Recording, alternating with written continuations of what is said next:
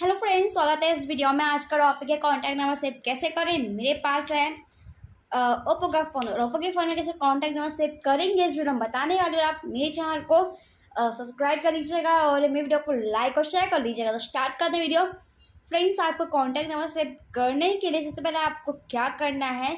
Setting को open करना फटाफट से मैं सेटिंग को जो है ओपन कर लूँगी।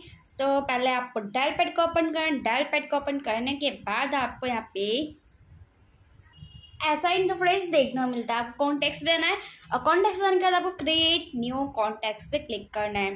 फटाफट से मैं इस पर क्लिक कर लूँगी और यहाँ पे आपको जिसका भी कॉन्टेक्ट नंबर सेव कर रहे हैं, उसका नाम डालेंगे। तो फटाफट से मैं क्या करूँगी, नाम डाल लूँगी।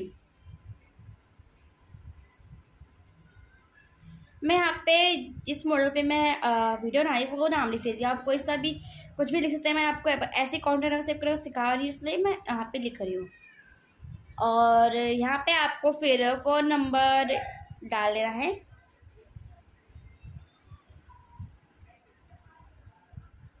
तो मैंने फ़ोन नंबर जो है डाल लिया है।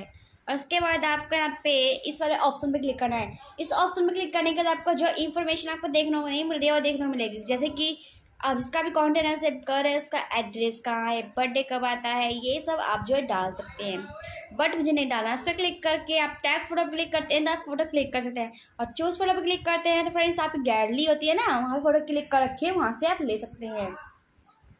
तो यहाँ से फटाफट से मैं इसको कैंसिल कर क्योंकि मुझे फ़ोटो नहीं लगाना है। आप, आपकी मर्ज़ी फ़ोटो लगाए या ना लगाए मेरे को नहीं लगाना है इसलिए मैं सेव पे क्लिक कर दूँगी। तो ऐसे होने में जो कॉन्टैक्ट नंबर है, वो सेव कर सकते हैं. फ्रेंड्स आपको आपको कॉन्टैक्ट नंबर सेव करना आ गया होगा। तो प्लीज़ आप मेरे चैनल को सब्सक्राइब कर लीजिएगा और मेरी वीडियो को लाइक और शेयर कर लीजिएगा। फ्रेंड्स मिलते हैं नेक्स्ट वीडियो में, तब तक के लिए नमस्कार।